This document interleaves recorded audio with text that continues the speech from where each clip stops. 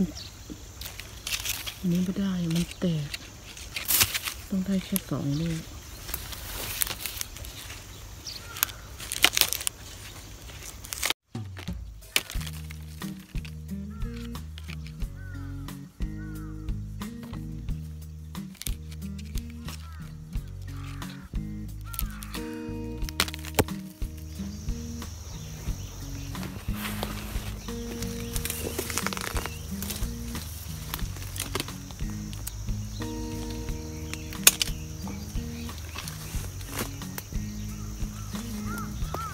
ลูกใหญ่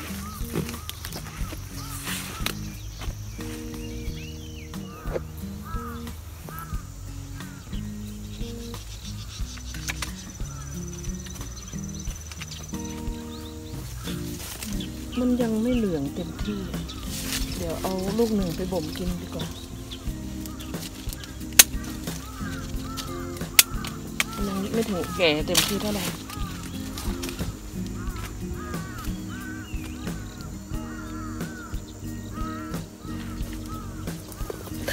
ลำบากนิดนึงพอดีปีนี้มาปลูกต้น